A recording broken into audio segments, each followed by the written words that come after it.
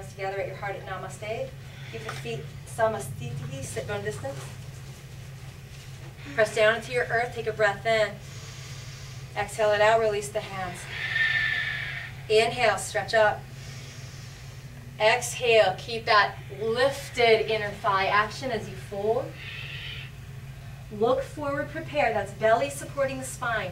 Exhale, bend the knees, lift the heels, and squeeze those knees high up on the arms. Maybe some of you can bring the knees higher to the outside of the armpits for crane pose, a little bit higher and a straighter arm. But wherever you are, you're going to squeeze the elbows in, plant the fingertips, squeeze the knees, use those inner thighs, curve it up through that back. See what you can do about your crow pose. Take a deep breath in here. Exhale back, Chaturanga Dandasana, maybe a high Chaturanga, so you can still say that core connected. That's totally fine. Inhale, offer it up. Exhale, downward facing. Earth core connection. Let's try this one more time in a bit of a different way. Lift your right leg to the sky. Exhale, bring that right knee high up on the outer upper right arm. Bend the back knee, press into your earth, lift your belly, and find your pose. Crow pose. A lot of crow.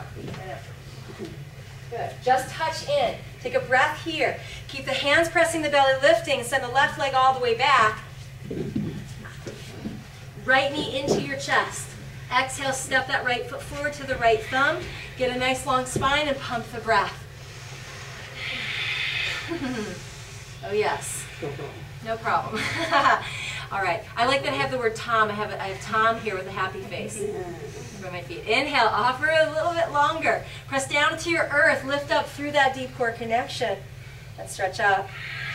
Three fists of fire. We're going to stay simple with these parts of it. Exhale, curl it in. Inhale, reach.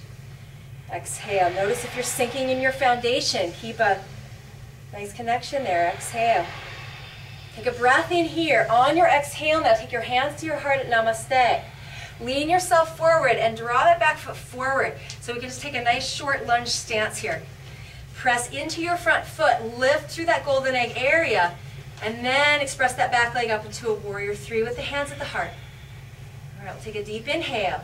On your exhale, begin to bend the leg a little bit more, but don't collapse into the foundation. Use it. We'll take a breath in here. On the exhale, press into the earth and lift the pit of the belly higher. Stretch the legs straight. Good.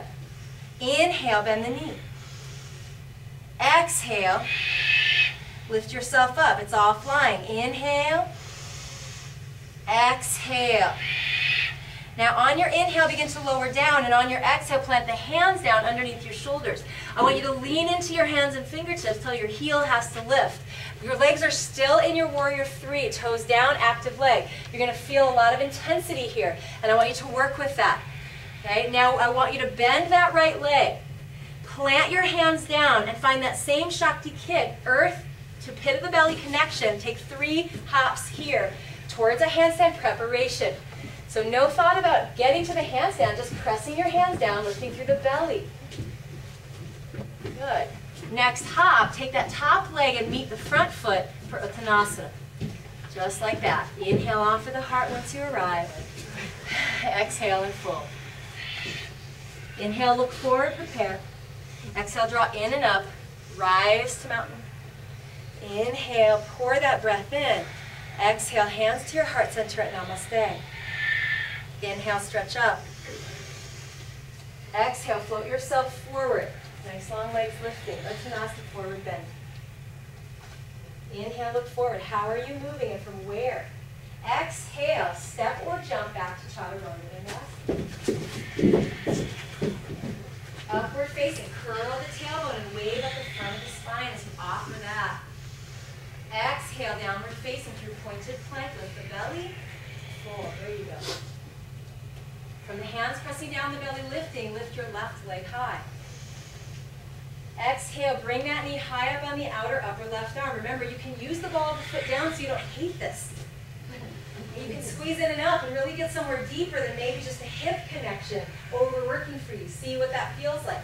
If you can maintain that, bend the back knee and hop forward towards your crow pose. Stubbornly squeeze in and up as you roll up through the back, so get a little more rounded. Use your fingertips a lot. Good. On your exhale, right leg moves back again. Draw that left knee into your chest and step it forward to the left thumb. There it is. Good. Inhale, wave the spine long. You lift the belly off the front thigh a bit and you breathe. So we can really take some time here to pulse and get some more oxygen, get some more movement. Get some context between each side because we're not always rushing to the next thing, but really being able to be here. Right. Press down into your earth, look forward. Exhale, follow that foundation up into center, into your high lunge. Can you be more liquid? Do you have to move in these supposedly straight lines? Absolutely not.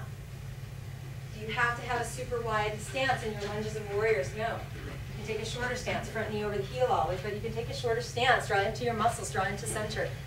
Play with that. Take a breath here. Bend the back knee, exhale, curl in. He's loving to do everything in front. Inhale, reach up. Exhale, fist of fire. Pull the tailbone down. Good. Inhale, reach and rise. Exhale, fist in.